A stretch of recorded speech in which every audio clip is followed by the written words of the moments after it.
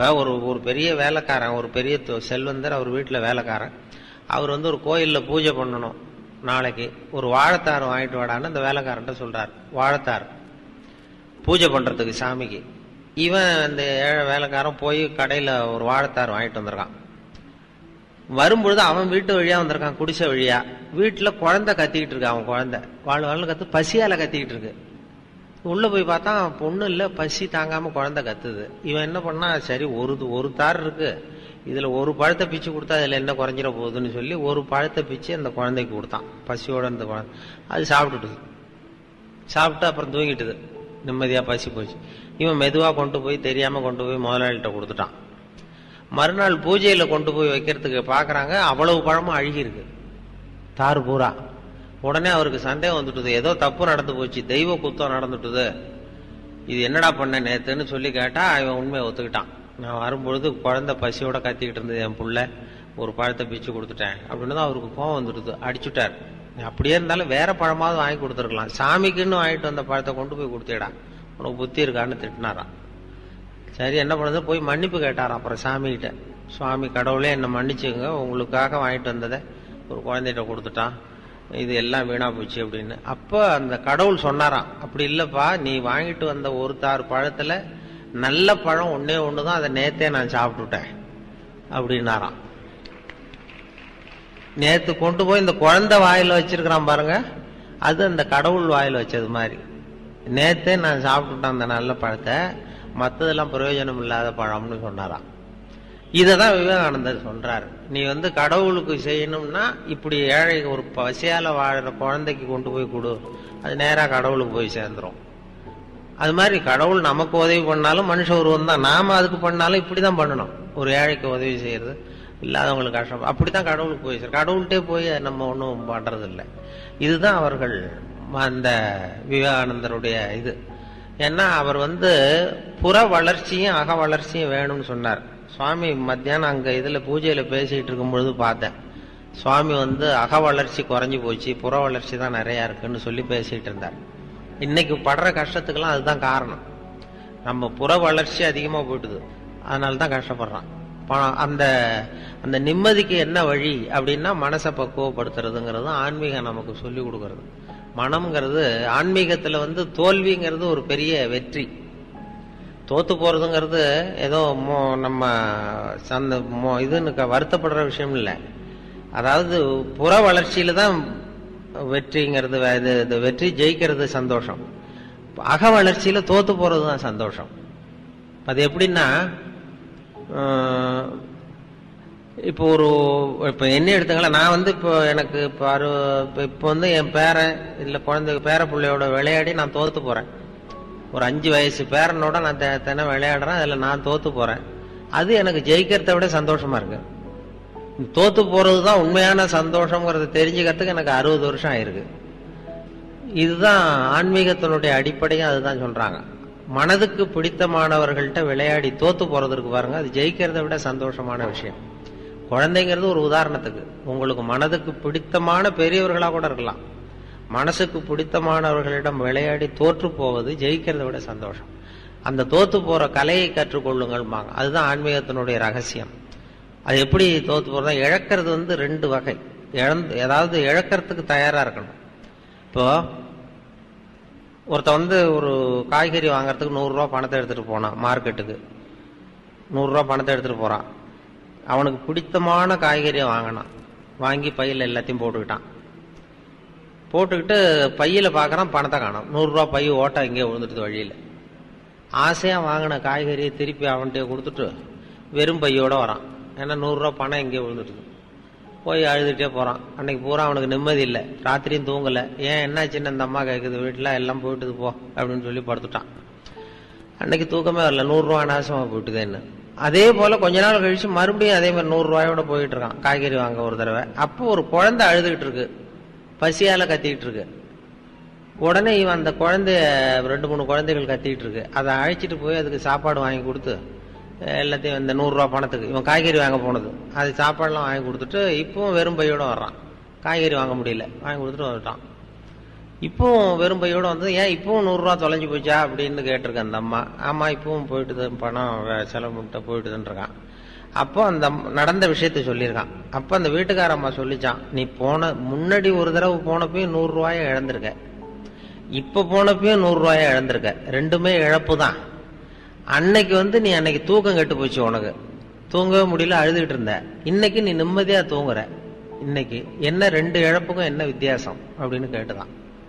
அப்பதான் அவன் யோசிக்க ஆரம்பிச்சிருக்கிறான். அப்போ அந்த அம்மாவே சொல்லிச்சான் அதாவது பொருள்கள் வந்து நம்ம இழந்து விட்டால் அது துன்பம்.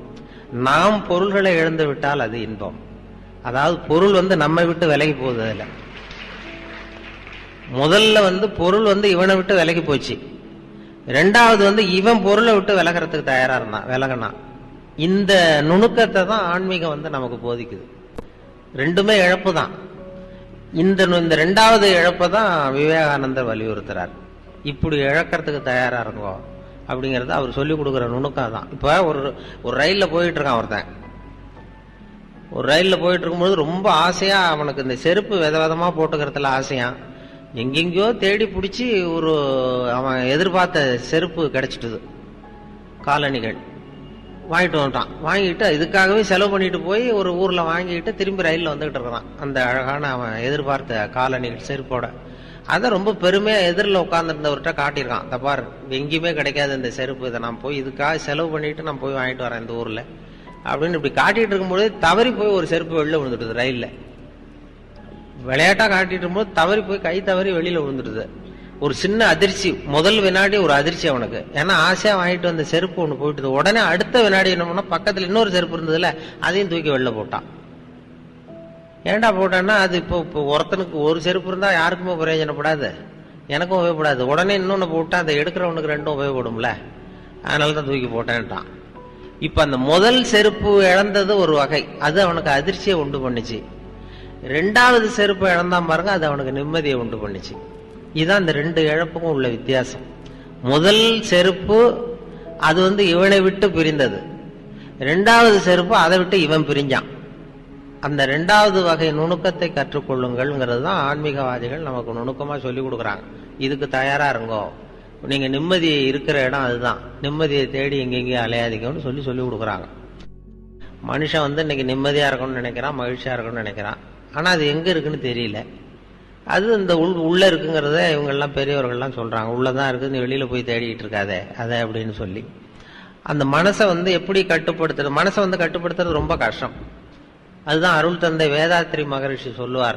மனதை வந்து கட்டுப்படுத்துறதுக்கு முயற்சி பண்ணாதீங்க. மனதை வந்து அடக்க நினைத்தால் அது அலையும். அறிய நினைத்தால் அது அடங்கும் அப்படின்னு சொல்றார். மனசை புரிஞ்சுங்க அது அடங்கிரும். அதை அடக்கிறதுக்கு முயற்சி பண்ணாதீங்க அது அலைய ஆரம்பிச்சிரும் அப்படின்னு அவர் சொல்லுவார். அந்த மனசு வந்து அவ்வளவு கஷ்டப்படுத்தும் நம்மளை. மனசை கட்டுப்படுத்துறது ரொம்ப கஷ்டம். ஒரு பையன் நான் வந்து மனசு கட்டுப்படுத்துறது என்ன சார் பெரிய காரியம்னு இந்த காலத்து பையன் ஒருத்தன். நான் கட்டுப்படுத்துறது என்ன பெரிய விஷயம் அப்படின்ட்டு கிளம்புனான் போய் நேராக அங்கிருந்தா மனசு சிந்தனையெல்லாம் செதறது. நடு காட்டில் போய் யாரும் இல்லாத இடத்துல போய் உட்காந்துக்கிறேன் மனசை கட்டுப்படுத்த போகிறேன்னு ஒரு கா- மரத்தடியில் போய் உட்காந்துட்டான் காட்டில். உட்காந்துட்டு அப்படியே நிற்கிறான் மனசை கட்டுப்படுத்துகிறான் பார்த்தா ஒரு ஒரு ஒரு ஒரு ஒத்தையடி பாதை. அதில் ஒரு டான்ஸ் ஆடுற பொண்ணு போயிட்டு இருக்கு ஒரு டான்ஸு ஸ்கூல் நடக்குது. எங்கேயோ அந்த வழியாக எட்டு மணிக்கு காலையில் அது போகும் போகுது அந்த ட்ரெஸ்ஸோட அது வந்து டான்ஸ் ஸ்கூல் போல இருக்கு. இது என்னடா இங்க வந்து காட்டுக்கு வந்தோம் இங்கே நமக்கு தொந்தரவா இருக்க? அப்படின்னு சொல்லி பார்த்து என்ன பண்ணா ஒரு துணியை எடுத்து கண்ணை கட்டிவிட்டான் இனிமே கட்டிட்டு கண்ணு தானே தொந்தரவா இருக்கு? இனிமே மனசை கட்டுப்படுத்துறேன் பார் அப்படின்னு உட்காந்தான் மறுநாள் காலையில எட்டு மணிக்கு அது காலில் இருக்கிற சலங்கை சத்தம் கேட்டிருக்கு ஜல் ஜல்லுன்னு அந்த வழியா போறது. இது ஏதரா இதுவும் தொந்தரவா இருக்கு அப்படின்னு சொல்லிவிட்டு இன்னொரு துணியை எடுத்தான் காதையும் கட்டிவிட்டான் காதையும் எரி கட்டியாச்சு கண்ணையும் கட்டியாச்சு. இனிமே மனசை கட்டுப்படுத்துறேன் அப்படின்னு உட்காந்தான் மூணாவது நாள் காலையில எட்டு மணிக்கு அது தலையில வச்சிருக்கிற பூ வாசனை அடிச்சிருக்கு.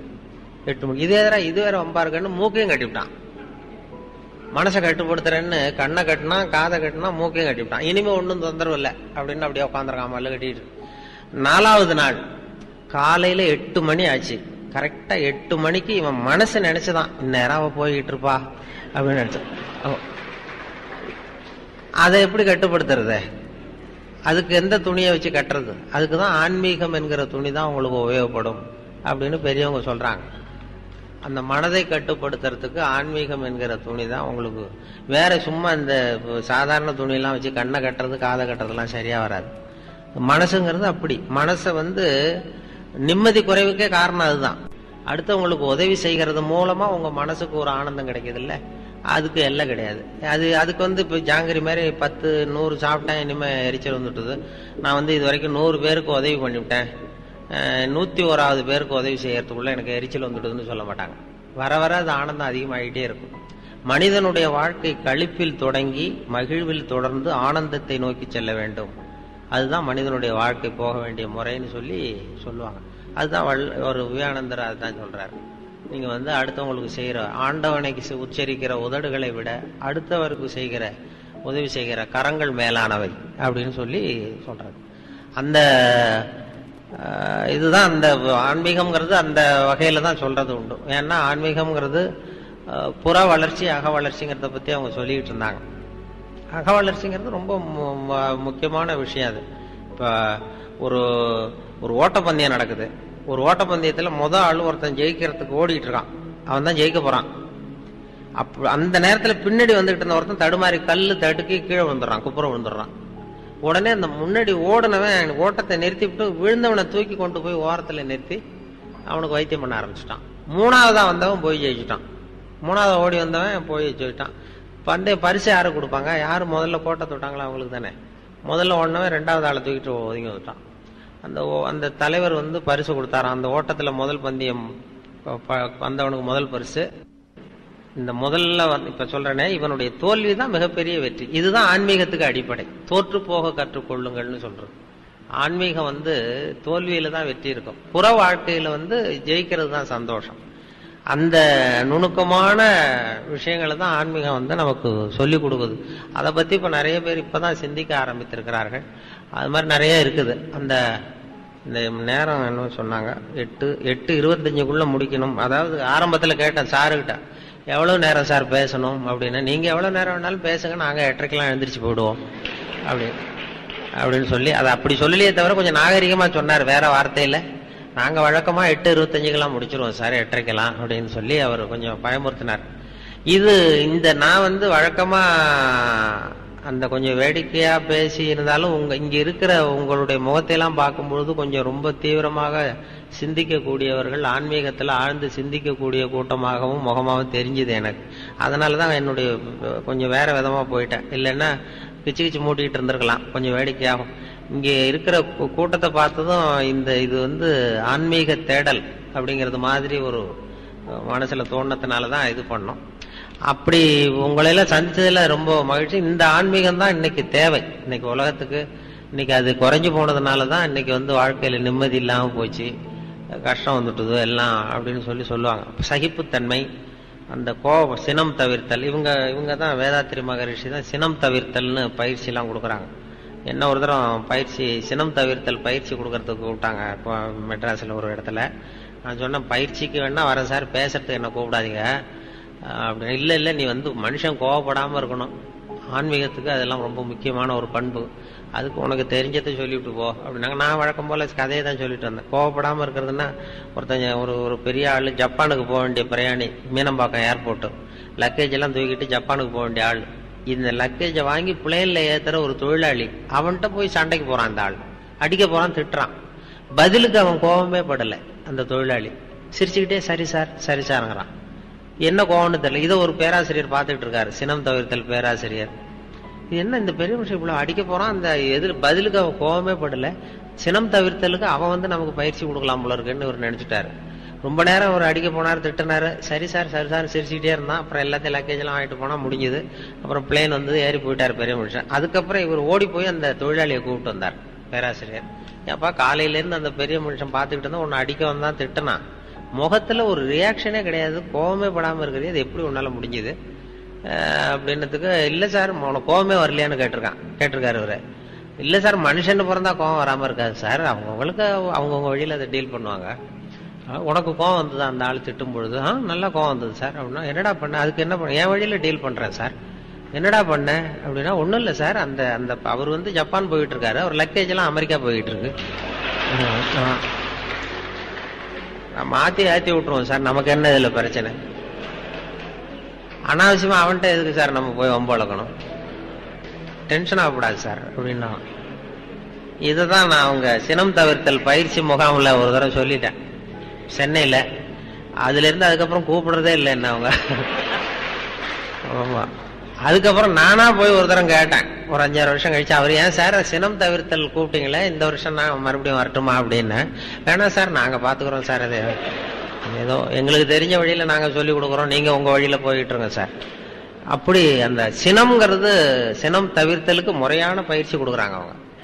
அதெல்லாம் ஆன்மீகத்து பண்புகளை வளர்க்குறதுக்கு ஒரு பெரிய இது. இது மாதிரி சகிப்புத்தன்மைங்கிறதும் ஒரு பெரிய விஷயம்.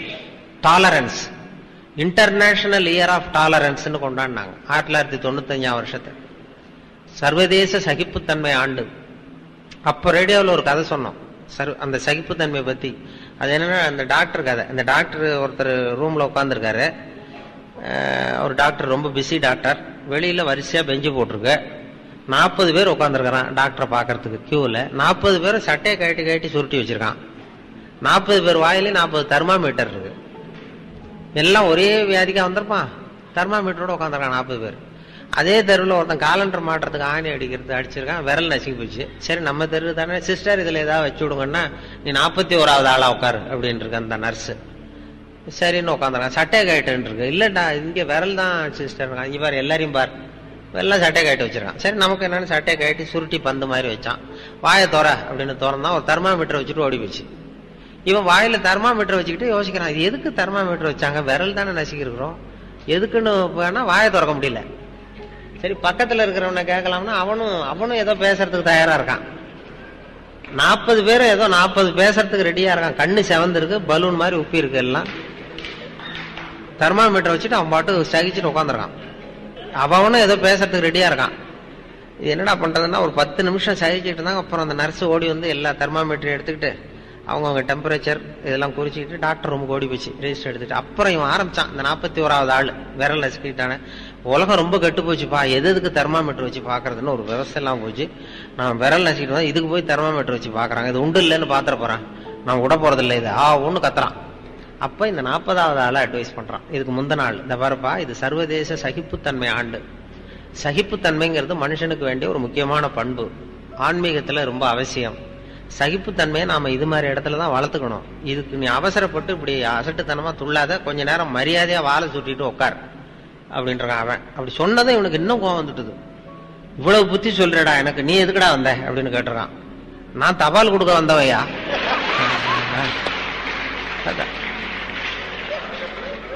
நான் தினம் இப்படி வருவேன் சட்டையை கேட்ட சொல்லுவாங்க கேட்டு வைப்பேன். தெர்மாமீட்டர் வச்சு பார்ப்பாங்க. பார்த்தா நான் பாட்டு கொடுத்துட்டு மறுபடியும் சட்டையை போட்டுட்டு லெட்டர் கொடுத்துட்டு போறேன். பெண்ணை கட்டு போய். எல்லாரும் சகிப்புத்தன்மை வளர்த்துங்கப்பா அப்படின்னு சொல்லிட்டு போனான். இதெல்லாம் நமக்கு ஆன்மீகத்துக்கு தேவை. சினம் தவிர்த்தல் சகிப்புத்தன்மை இதையெல்லாம் வளர்த்துக்கணும். வளர்த்துக்கிட்டாதான் நம்ம இது பண்ணலாம். இல்லைன்னா இன்னும் அந்த கொஞ்ச நேரத்தில் உங்க சகிப்புத்தன்மைக்கும் அந்த எல்லாம் வந்துட்டுது அதான் எட்டு இருபத்தஞ்சு. எட்டு இருபத்தஞ்சு. அவர் சொன்ன அது மாதிரி அதனால அது மாதிரி இல்லைன்னா அந்த வழக்கமாக ஒரு கதை சொல்லுவாங்க. ஒரு பேசிக்கிட்டே இருக்கும் பொழுது ஒருத்தர் முத வரிசையில் இருந்தவர் என்னமோ மெதுவாக ஒரு சிப்பேக்கை திறந்து எடுத்தால் ரிவால்வரான் பேசணும் ஐயோ நிறுத்திட்டு ஏன் சார் துப்பாக்கிலாம் காட்டி பயமுறுத்துறீங்க? போதும்னா நிறுத்திட்டு போகிறேன் அப்படின்னு அப்பா அவர் சொன்னா ஐயோ நிறுத்தாதீங்க சார் நீங்கள் பாட்டு பேசுங்க சார். இது வந்து உங்களை சுடுறதுக்கு இல்லை சார். உங்களை இங்கே அழைச்சிட்டு வந்தவரை சுடுறதுக்கு அப்படின்னா என்ன அழைச்சிட்டு வந்தவர் டாக்டர் அதை பக்கத்தில் தான் இருக்கார். அவருடைய பாதுகாப்பும் ரொம்ப முக்கியங்கிறதுனால அவருடைய பாதுகாப்பு ரொம்ப முக்கியம். ஒருத்தர் இருந்தானா நம்ம மாதிரி ஒரு ஆள் நேராக ஒரு சைக்கியாட்ரிஸ்ட் போனான் மனோதத்துவ டாக்டர்கிட்ட சார் நான் ஒரு முக்கியமான ஒரு கேஸ் உங்ககிட்ட வந்திருக்கேன்ருக்கான் அவர் மனோதத்துவ டாக்டர் என்னடா உனக்கு கேஸ்னா நான் செத்து போயிட்டேன் சார் அப்படின்ட்டுருக்கான் மனோதத்துவ டாக்டர்கிட்ட நான் செத்து போயிட்டேன் டாக்டர் அப்படின்னு தான் அவன் புரிஞ்சுக்கிட்டார். இது நம்மகிட்ட வர்ற கேஸ் தான் இது. இது நீ இல்லைடா நீ உயிரோட இருக்கப்பா அப்படின்ட்டுருக்காரு இருக்காரு. சார் உங்களுக்கு தெரியல நான் செத்து போயிட்டேன் எனக்கு தெரியுது நல்லா. அப்படின்றான். அவர் நினைச்சுட்டார் இது வாழும்போதே செத்து போகிறதுன்னு ஒரு பெரிய தத்துவம் சொல்றாங்க.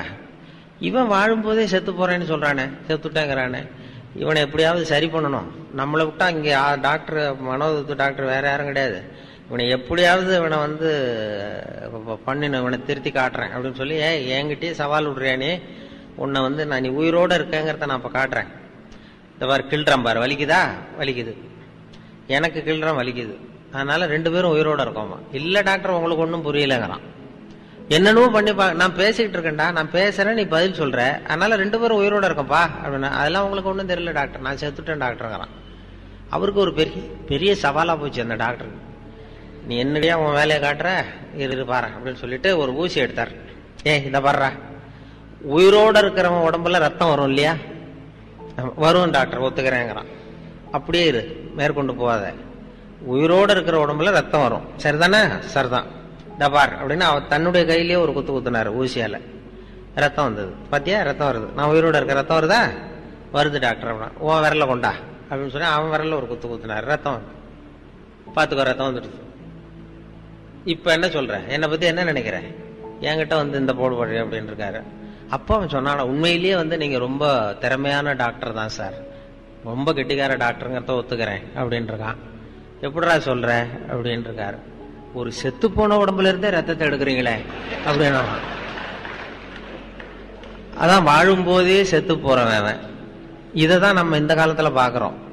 அன்பு அதிகமா இருந்தா அது எப்படி கெடுதல் பண்ணும் அப்படிங்கிற சந்தேகம் உங்களுக்கு வரலாம்.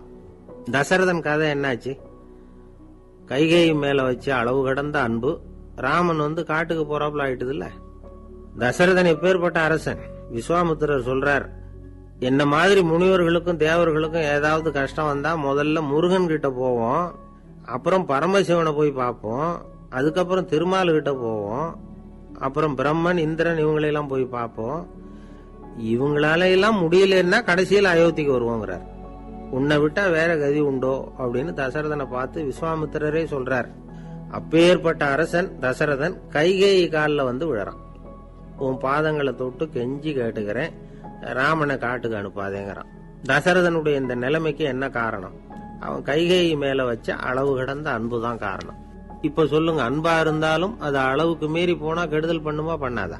அது மட்டும் இல்ல அளவு கடந்த அன்பு நீதிக்கும் நியாயத்துக்கும் புறம்பான காரியங்களையும் செய்ய வச்சிரும். தசரதன் வந்து மிகச்சிறந்த நீதிமான். தர்மத்துக்கு விரோதமா ஒரு காரியமும் செய்யாதவன். அப்பேற்பட்டவன் தன்னுடைய மனைவியை பார்த்து என்ன சொல்றான் தெரியுமா? உனக்காக நான் என்ன செய்யணும் சொல்லு செய்யறேன் ஒரு குற்றமும் செய்யாத ஒருத்தனை கொல்லணுமா கொல்றேன். மரண தண்டனை விதிக்கப்பட்ட ஒருத்தனை விடுதலை செய்ய சொல்றியா? செய்யறேன் எந்த பிச்சைக்காரனையாவது கோடீஸ்வரன் ஆக சொல்றியா? ஆக்குறேன். அல்லது கோடீஸ்வரனை வந்து பிச்சைக்காரன் ஆக்கணுமா ஆக்குறேன். அப்படிங்கிறான். நீதிக்கு விரோதமான இந்த பாவங்களை செய்யறதுக்கு அப்பேற்பட்ட அரசன் வந்து எப்படி துணிஞ்சான்? மனைவி பேர்ல வச்ச அளவு கடந்த அன்புதான் காரணம். திரிசூலம் வஜ்ராயுதம் வாழ் இதுகளால தாக்கப்பட்டா கூட அதையெல்லாம் கொஞ்சம் கூட லட்சியம் பண்ணாத ஒருத்தன் காமதேவனுடைய மலர் அம்புகள் தாக்குனா அதை அவனால் தாக்கு பிடிக்க முடியல. விழுந்துடுறான். காமதேவனுக்குள்ள மகிமையே அதுதாங்கிறார் துளசிதாசர். அதனாலதான் தான் பெரியவங்கள்லாம் என்ன சொல்றாங்கன்னா எதையும் அளவுக்கு மீறி செய்யாதேங்கிறாங்க. அப்பா அம்மா மனைவி மக்கள் எல்லார் பேர்லயும் அன்பு அவசியம்தான். ஆனா அந்த அன்பு அறிவுக்கு புறம்பா இருக்கக்கூடாது. அளவுக்கு மீறி இருக்கக்கூடாது. அப்பதான் வாழ்க்கை சுகமா இருக்கும். இல்லைன்னா அவஸ்தை தான் அளவுக்கு மீறின அன்புங்கிறது புரியுது அது சரி. அறிவுக்கு புறம்பான அன்புங்கிறது எப்படி? ஒரு தாய்க்கு வந்து ஜலதோஷம். அல்லது ஏதோ ஒரு தொற்று நோயின்னு வச்சுங்களேன். அந்த அம்மாவுக்கு தன்னுடைய குழந்தை பேர்ல அளவு கடந்த அன்பு. தனக்கு நோய் இருக்கு அது அடுத்தவங்களுக்கு தொற்றக்கூடியது அப்படின்னு தெரிஞ்சிருந்தோம். அன்பை காட்டுறதுக்காக அந்த குழந்தைக்கு முத்தம் கொடுக்குறேன்னு தூக்கி வச்சுக்கிட்டு கொஞ்சம் ஆரம்பிச்சதுன்னு வச்சுக்கோங்க. அது நல்லா இருக்குமா? இதுதான் அறிவுக்கு புறம்பான அன்புங்கிறது. அது மாதிரி விலங்குகள் கிட்ட அன்பாயிருன்னு சொல்றோம். அதுக்காக புலிக்கு முத்தம் கொடுக்க முடியுமா? அப்படி கொடுத்தா அது அறிவுக்கு புறம்பான அன்பு. அதனால அன்பு கூட அறிவுபூர்வமா இருக்கணும் அப்படிங்கறத இன்னைக்கு தகவல் மூலமா நாம புரிஞ்சுக்கணும். இந்த காலத்து காதலன் தன்னுடைய காதலிகிட்ட சொன்னானாம் இதை பாரு உன் பேர்ல எனக்கு அளவு கடந்த அன்பு. உனக்கா என்ன செய்யணும் சொல்லு செய்யறேன். நெருப்புல நடக்கணுமா நடக்கிறேன். நீர்ல குதிக்கணுமா குதிக்கிறேன். உயிரையே கொடுக்கணுமா கொடுக்கறேன் அப்படின்னா. சரி வர்றேன். ஞாயிற்றுக்கிழமை சாயந்தரம் ஆறு மணிக்கு இதே இடத்துக்கு வாங்க அப்படின்னு அந்த பொண்ணு. இவன் கொஞ்சம் யோசனை பண்ணி பார்த்துட்டு அன்னைக்கு மழை பெய்யாம இருந்தா வந்துடுறேன் அப்படின்னானா. இப்ப மேல எனக்கு அளவு கடந்த அன்பு அப்படின்னு யாராவது சொன்னா அதை அலட்சியமா நினைச்சிடக்கூடாது. அது கொஞ்சம் சீரியஸான விஷயம். அளவுக்கு மிஞ்சினா எதுவுமே இடைஞ்சல் தானே. அன்பும் அப்படிதான். ஒரு பெரிய அரசன் இந்த உலகம் பூராவையும் ஆண்டுகிட்டு இருந்தான். ரொம்ப காலம் அப்படி அரசாட்சி பண்ணிக்கிட்டு இருந்தான். திடீர்னு அவனுக்கும் சில எதிரிகள் முளைச்சாங்க. அவங்க எல்லாம் சேர்ந்து இவனை தோற்கடிச்சுட்டாங்க. தோத்து போனது இவனுக்கு பயம் வந்துட்டுது. எங்கே எதிரிகள் நம்ம கொண்டுடுவாங்களோ அப்படின்னு. வெளியில வந்தால் தனக்கு ஆபத்துன்னு பயந்துக்கிட்டு யாருக்கும் தெரியாம ஒரு குகைக்குள்ள போய் பதுங்கி கிடக்கிறான். நிலைமையை பாருங்கள் முதல் நாள் வந்து அரண்மனையில அதிகாரம் பண்ணிக்கிட்டு இருந்தவன். மறுநாள் வந்து குகையில பயந்து போய் பதுங்கி கிடக்குறான். ராத்திரி நேரம் வந்தது. பசி வயத்தை கிள்ளுது. பிச்சை எடுத்து சாப்பிட வேண்டிய நிலைமை. பிச்சை எடுக்கிறதுக்கு பாத்திரம் வேணுமே? என்ன பண்றது? அப்படின்னு அங்கேயும் இங்கேயும் பாக்குறான். ஒரு மூலையில யாரோ விட்டுட்டு போன ஒரு ஓடு கிடக்குது. அதை எடுத்துக்கிட்டு புறப்பட்டான். இருட்டில் வழி புரியல. ஏதோ ஒரு யூகத்துல காலை மெதுவா எடுத்து வச்சு நடந்து போயிட்டு இருக்கிறான். வழியில ஒரு கருப்பு நாய் படுத்து கிடந்தது. இருட்டில் அவன் இது கண்ணுக்கு சரியா தெரியல அவனுக்கு. தவறி போய் காலை வச்சுட்டான். அது மேல. நாய் சும்மா இருக்குமா? வள்ளுன்னு விழுந்து கடிச்சு விட்டுது. காலை பார்க்குறான் காலத்தையும் நினைச்சு பார்க்குறான் அரண்மனையில வந்து வீரக்கழல் அணிந்த காலை உடைய மன்னா அப்படின்னு புகழ்வாங்களே புலவர்கள்லாம். ஆனா அது இன்னைக்கு நாய் கடிச்ச காலம் ஆயிட்டுதே அப்படின்னு நினைக்கிறான். அது மட்டும் இல்ல முன்னாடி எல்லாம் பொற்கிண்ணங்கள்ல தான் அவன் சாப்பிடுவான். ஆனா இப்போ உடஞ்சி போன ஓட்டு அது ஓட்டை வந்து கையில் வச்சுக்கிட்டு நிற்கிறான் அதில் ஏதாவது யாராவது சாப்பாடு போடுவாங்களான்னு. முன்னாடியெல்லாம் நிறைய பேர் அரண்மனைக்கு வருவாங்க. அரசருக்கு காணிக்கைன்னு சொல்லி இவன் காலடியில் கொண்டாந்து கொட்டுவாங்க. அப்போல்லாம் இவன் அந்த ஜனங்களுடைய முகத்தை திரும்பி கூட பார்க்கறது இல்லை ரொம்ப கர்வமாக உட்காந்துருப்பான் அதே ஆள் இன்னைக்கு எல்லார் கண்ணுலயும் படுறது மாதிரி பிச்சை எடுத்துக்கிட்டு இருக்கிறான். அப்போலாம் காணிக்கைகளை வந்து தன்னுடைய கையால வாங்குறது தனக்கு கௌரவ குறைச்சல்னு நினைச்சு தன்னுடைய வேலைக்காரங்களை விட்டு தான் அதை வாங்க சொல்லுவான். இப்போ பாத்தீங்கன்னா அவனே தன் கையாலேயே பிச்சை வாங்குறான். நினைச்சு பாருங்க. அந்த மனுஷன் முத நாள் அரசன் மறுநாள் பிச்சைக்காரன். எவ்வளவு வித்தியாசம். செல்வம் தான் இப்படி ஒரு வித்தியாசம் ஏற்படுறதுக்கு காரணம். அப்படிப்பட்ட செல்வம் வாழ்க்கையை நடத்துறதுக்கு நமக்கு தேவைதான். ஆனா அதையே நாம் அடைய வேண்டிய பயனா நினைக்கிறோம் பாருங்க. அதுதான் வேடிக்கை. இத வந்து நம்மாழ்வார் அழகா ஒரு பாசுரத்துல சொல்றார். ஒரு நாயகமாய் ஓட உலகுடன் ஆண்டவர் கருணாய் கவர்ந்த காலர் சிதைகிய பாணையர் பெருநாடு காண இம்மையிலே பிச்சைதாம் கொள்வர் திருநாரணன் தாழ் காலம் பெற சிந்தித்து உய்மினோ அப்படிங்கிறார் நம்மாழ்வார். இந்த காலத்திலும் ஒரு ஊர்வலம். ஒரு பெரிய மனுஷருக்கு பிறந்த நாள் விழா. அவர் குதிரை மேல ஏறி முன்னாடி போயிட்டு இருக்கிறார் அவருக்கு பின்னாடி ஒரு நூறு பேர் தொண்டர்கள் அவங்க பாட்டுக்கு போறாங்க. எல்லாம் பணம் கொடுத்து ஏற்பாடு பண்ணவங்க. எல்லாம் பணம் வாங்கிட்டு பின்னாடி போயிட்டு இருக்கிறாங்க கொஞ்ச தூரம் நடந்ததும் கால் வலிக்க ஆரம்பிச்சுட்டுது. ஒவ்வொருத்தரும் அப்படியே ஒதுங்க ஆரம்பிச்சுட்டாங்க. அதான் முன்னாடியே பணம் கிடைச்சிட்டுதே. இனிமே ஒதுங்கினா என்னன்னு ஒதுங்கிட்டாங்க. ஒரு கட்டத்துல குதிரையில போறவர் தற்செயலா திரும்பி பாக்குறாரு. பின்னாடி யாருமே இல்லை. எல்லாரும் ஓடி போயிட்டாங்க. ஒரே ஒரு ஆள் மட்டும் ரொம்ப விசுவாசமா பின்னாடி நடந்து வந்துகிட்டு இருந்தான். ஏன்பா நீ மட்டும் வந்துகிட்டு இருக்கிறியே நீ வீட்டுக்கு போகலையான்னு கேட்டிருக்காரு அவரு. நீங்க அந்த குதிரையையும் அதுக்குள்ள வாடகை பணத்தையும் கொடுத்துட்டீங்கன்னா நானும் போயிடுவேன் அப்படின்னு நானா இந்த ஆள். ஒரு ஊர்ல ஒரு ஆள் இருந்தான். தையல் கடை வச்சிருந்தான். அவங்கிட்ட ஒருத்தன் ஒரு சட்டை துணி எடுத்து கொடுத்து தைக்க சொல்லியிருந்தான். வர்ற சனிக்கிழமை வா வந்து வாங்கிட்டு போ அப்படின்னு அவன் சொல்லியிருந்தான். அதே மாதிரி இவன் வந்தான். அவன் தச்சு வச்சிருந்த சட்டையை கொடுத்தான். இவன் வாங்கி அங்கேயே போட்டு பார்த்தான். கை நீளம் ஒன்றுக்கு ஒன்று வித்தியாசமாக இருந்தது. வலது கை இடது பக்கத்தை விட நீளம் குறைச்சலாக இருந்தது. அவன் முணுமுணுக்க ஆரம்பிச்சுட்டான். என்ன இது? இப்படி தைச்சுட்டியேன்னு. இதுக்கு அவன் சொன்னான் ஐயையோ இதுக்காகவா சங்கடப்படுறீங்க? வலது கையை மட்டும் கொஞ்சம் உள்ள இழுத்தாப்புல வச்சுக்கிட்டீங்கன்னா சரியா போகுது. மற்றபடி அந்த சட்டையில் உள்ள கலை அம்சத்தை கவனிங்க. எவ்வளவு அற்புதமா தச்சிருக்கேன் பாருங்க. ஒரு சின்ன குறைய வந்து இப்படிலாம் பொருட்படுத்த வேண்டியதில்லை. நான் சொன்னது மாதிரி கையை கொஞ்சம் உள்ள இழுத்தது மாதிரி வச்சுக்கிட்டு நடந்து போங்க ஜோரா இருக்கும். அப்படின்னா. அவனும் யோசிச்சு பார்த்தான். சரியான யோசனையா தான் தோணுச்சு. கொஞ்சம் முயற்சி பண்ணி வலது கையை கொஞ்சம் உள்ள இழுத்து சட்டை சரியா இருக்கிறது மாதிரி பண்ணிட்டான். இப்போ மறுபடியும் ஒரு பிரச்சனை. வலது கையை உள்ள இழுத்த மாதிரி அப்படியே வச்சுக்கிட்டதும் முதுகு பக்கம் கொஞ்சம் துணி தளர்த்தியா தொங்குறது மாதிரி தெரிஞ்சது. என்ன இது? முதுகு பக்கம் துணி குவிஞ்சுட்டுதே தொங்குதே அப்படின்னா மறுபடியும். அடடா இதுக்காகவா கவலைப்படுறீங்க? உடம்ப அதுக்கு தகுந்த மாதிரி கொஞ்சம் வளைச்சிக்கிட்டா சரியா போடுது. இதுக்காக அந்த அழகான தையலை பிரிச்சு அதுல உள்ள கலை அம்சத்தை கெடுக்கிறதுக்கு என் மனசு இடம் தரல.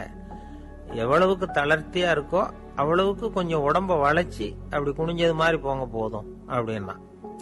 அதுவும் நல்ல யோசனையாக தான் பட்டுது இவனுக்கு. சரின்னு சொல்லிவிட்டு புறப்பட்டான். தெருவில் இறங்கினான் கையை கொஞ்சம் உள்ளே இழுத்தான் உடம்ப கொஞ்சம் முன்னால் வளைச்சான். சட்டைக்கு தகுந்த மாதிரி உடம்ப பண்ணிக்கிட்டான் மெதுவாக நடந்து போகிறான் இப்போ எதிரில் இன்னொருத்தன் வரான். இவனை பார்க்குறான் இவன் போட்டிருக்கிற சட்டையை பார்க்குறான் ஆஹா அற்புதம்ங்கிறான். சும்மா சொல்லக்கூடாது ரொம்ப நல்லா இருக்கு. நிச்சயமா இது வந்து இந்த ஊர் மேல தெருவில் இருக்கிற ஒருத்தன் இருக்கானே அவன் தச்சதா தான் இருக்கணும் அப்படின்னா இதை கேட்டதும் அவனுக்கு ஆச்சரியம். எப்படி அவ்வளவு கரெக்டா கண்டுபிடிச்சிங்க? அப்படின்னு கேட்டிருக்கான். இதுக்கு அந்த வழிபோக்கன் சொன்னானா அவன் ரொம்ப கெட்டிக்காரன். உங்களை மாதிரி உடம்பும் கையும் வளைஞ்சு போன ஒரு ஆசாமிக்கு அவனை தவிர வேற யாராலேயும் இவ்வளவு பொருத்தமான ஒரு சட்டையை தைக்க முடியாது அப்படின்னானா பாருங்க அவனுக்காக இவன் அனுசரிக்க போய் இவனோட நிலைமை எப்படி ஆயிட்டுது பாருங்க. இதே மாதிரி தான் சில சடங்குகளும் சம்பிரதாயங்களும் நம்மளை வந்து கோமாளி ஆக்கி விட்டுரும். எதுவா இருந்தாலும் அதுல வந்து அறிவுபூர்வமான அணுகுமுறை அவசியம். ஒரு நர்ஸ் அவசரமா ஓடி வந்து டாக்டர் கிட்ட சொல்லிச்சான் டாக்டர் ஒரு தப்பு நடந்து போச்சு. பத்தாம் நம்பர் பெட்ல இருக்கிற பேஷண்ட்டுக்கு காலில் ஆபரேஷன் பண்றதுக்கு பதிலாக கையில ஆபரேஷன் பண்ணி விட்டீங்க. கை ஆபரேஷன் பண்ணிக்க வேண்டிய ஆள் ஏழாம் நம்பர் பெட்ல இருக்கார். அப்படின்னு தான் அதுக்கு ஒரு பதட்டப்படாம சொன்னாராம். பரவாயில்ல இவரை தூக்கி ஏழாம் நம்பர் பெட்ல போட்டுரு அப்படின்னாராம். ஒரு மாணவனை பார்த்தேன். என்ன தம்பி படிப்புலாம் எப்படி இருக்குது? அப்படின்னு விசாரிச்சேன். அவன் ரொம்ப அழுத்துக்கிட்டான். நான் நல்லா தான் சார் படிக்கிறேன். இருந்தாலும் புத்தியில சரியா ஏற மாட்டேங்குது சார் அப்படின்னா சரி இவனும் நம்ம ரகம்தான் அப்படின்னு சொல்லி முடிவு பண்ணிட்டோம். கல்வி கற்கக்கூடிய ஒரு மாணவன் சம்பந்தப்படுற புத்திகள் பல வகை. அதை பத்தி ஒரு பெரியவர் விளக்கி இருக்கிறார். மிருத்து புத்தின்னு ஒன்று இருக்குதான். மிருத்துன்னா மண்ணு. மண்ணால வந்து செவரு கட்டுறோம்ல மண் சுவரில் வந்து ஆணி அடிக்கிறதும் சுலபம். அதை பிடுங்கி எடுக்கிறதும் சுலபம். அது மாதிரி சில பேர் குரு சொல்லி கொடுக்கறத சுலபமா கேட்டு தெரிஞ்சு வச்சுக்குவாங்க. கொஞ்ச நேரத்தில் சுலபமா மறந்தும் போயிடுவாங்க. இது மிருத்து புத்தின்னு பேர். மண் புத்தி. தாறு புத்தின்னு ஒன்று உண்டான். தாருன்னா மரம். அதில் பச்சை மரத்தில் வந்து ஆணி அடிக்கிறது சுலபம். ஆனால் அது எடுக்கிறது கஷ்டம். அது மாதிரி ஆசிரியர்கிட்ட இருந்து கேட்டதை கவனமாக மனசில் பதிய வச்சுக்கிட்டு அதை மறக்காமல் இருக்கிறது தாரு புத்தி. பட்டை மரமாக இருந்தால் அதில் ஆணி அடிக்கிறதும் கஷ்டம் அடிக்கிற ஆணியும் சீக்கிரம் நழுவிடும். அது மாதிரி கேட்குற விஷயம் மனசில் பதியறதும் கஷ்டம். அப்படியே பதிஞ்சாலும் அது நீடிச்சு இருக்கிறதும் கஷ்டம். கொஞ்ச காலத்தில் மறந்துடும் இன்னொரு வகை புத்தி ஒன்று உண்டு. அதுக்கு பேர் சிலா புத்தின்னு பேர். சிலான்னா கல்லு. ஒரு கருங்கல்லுல நாலு தொலைய போட்டு ஒரு தொலையில வந்து உளிய வச்சு அடிச்சா மற்ற தொலை வழியாவும் பிளந்து கல் ரெண்டாயிடும். அது மாதிரி சந்தியான இடங்கள்ல குறிப்பா ஒரு பொருளை சொன்னா அதை வச்சுக்கிட்டு மத்ததையும் தெரிஞ்சுக்கிறது. அது சிலா புத்தின்னு பேர். வேணு புத்தின்னா என்ன தெரியுமா? வேணும்னா மூங்கில். மூங்கில் கணுவுல ஒரு பக்கம் உளிய வச்சு அடிச்சா ரெண்டு பக்கமும் பிளந்துரும். அது மாதிரி ஒரு செய்தியை கேட்டுக்கிட்டு இருக்கிறப்பவே அதோட முன்பின் தொடர்களையும் தெரிஞ்சுக்கணும். அது வேணு புத்தி தைல புத்தின்னு ஒன்று உண்டு. தைலம்ங்கிறது எண்ணெய். தண்ணியில ஒரு துளி எண்ணெயை விட்டா அது தண்ணி பூரா பரவுது பரவி போடுதுல்ல? அது இப்படி பரவுறது மாதிரி ஆசிரியர் சுருக்கமா ஒரு கருத்தை சொன்னா அதை வச்சுக்கிட்டு பூரா விஷயங்களையும் தெரிஞ்சுக்கணும். அது தைல புத்தி கற்பூர புத்தின்னு ஒன்று கேள்விப்பட்டிருக்கோம். அது எப்படின்னா கற்பூரம் வந்து தீ பட்ட உடனே பிடிச்சிக்கும். ஆசிரியர் சொன்ன உடனே நுண்ணறிவோட பாடங்களை புரிஞ்சுக்கிறது இந்த வகை புத்தி. கரி புத்தின்னு ஒண்ணு. அது எப்படின்னா கரியில நெருப்பை வச்சு விசிறிய பிறகு அதுக்கப்புறம் அது கறி நெருப்பாகும். அது மாதிரி காலம்பர சாயந்தர வேலைகளில் ஆசிரியர் வந்து பாடம் சொல்லி கொடுப்பார். அதை கொண்டு புரிஞ்சுக்கிறது இந்த வகை. கதலித்தண்டு புத்தின்னு ஒன்று சொல்லுவாங்க. கதலிங்கிறது வாழை மரம் வாழைத்தண்டுல தீ வைக்கிறது எவ்வளவு சிரமமோ அவ்வளவு சிரமத்தோட கல்வி கற்கிறது கதலித்தண்டு புத்தி. இதை தவிர இன்னும் சில வகையான மாணவர்களை கூட அடையாளம் காட்டுறாங்க. ஆசிரியர் சொன்னதுல நல்லதை மட்டும் எடுத்துக்கிறவன் அன்னம் ஆசிரியர் கிடைச்ச இடத்துல பாடத்தை கேட்டுக்கிட்டு பிறகு தனியா உட்காந்து சிந்திக்கிறவன் பசு. பசுமாடு அப்படிதானே? புல்லு கண்ட இடத்துல மேயும் அதுக்கப்புறம் நிதானமா அசை போட்டுக்கும். ஆசிரியர் சொன்னதை தவிர வேற எதையும் சொல்ல முடியாதவன் கிளி. பல இடங்கள்ல பாடங்கள் கேட்டு கடைசியில ஒன்னும் புரியாம போறவன் ஆடு. ஆடு வந்து ஒரு செடியில வயிறார மேயாது ஒரே செடியில. இக்கரைக்கு அக்கறை பச்சைன்னா அங்கேயும் இங்கேயும் அலைஞ்சிக்கிட்டே இருக்கும். சில பேருக்கு எருமைன்னு பேர். எருமை வந்து எப்படின்னா குளத்து நீரை கலக்கி தான் குடிக்கும். அது மாதிரி ஆசிரியர் வந்து மனசை நோக செய்து பயில்கிற மாணவர்கள்லாம் இந்த ரகம். இவ்வளவுலாம் இருந்தாலும் இந்த காலத்து மாணவர்கள்லாம் ஒரு தனி ரகம். ஒரு ஆசிரியர் வகுப்புல பாடம் நடத்திக்கிட்டு இருந்தார். இலக்கண வகுப்பு. இறந்த காலம் நிகழ்காலம் எதிர்காலம். Past tense present tense future tense இதை பற்றிலாம் பாடம் நடத்துகிறார் எல்லாம் சொல்லி கொடுத்துட்டு இப்போ நான் ஒரு வாக்கியம் சொல்லுவேன். அது என்ன காலம் அப்படிங்கிறத நீங்கள் சொல்லணும்னார் ஆசிரியர். சரி நாங்கள் மாணவர்கள்லாம். நான் நாளைக்கும் பாடம் நடத்த போகிறேன். இது என்ன காலம் அப்படின்னு கேட்டார் ஆசிரியர். அதாவது நான் நாளைக்கும் பாடம் நடத்த போகிறேன். இந்த வாக்கியம் வந்து என்ன காலம்னு கேட்டார். ஒரு பையன் மெதுவாக எழுந்திரிச்சு சொன்னான். இது எங்க போதாத காலம் சார். அப்படின்னு சொல்லிவிட்டு உட்காந்துட்டானா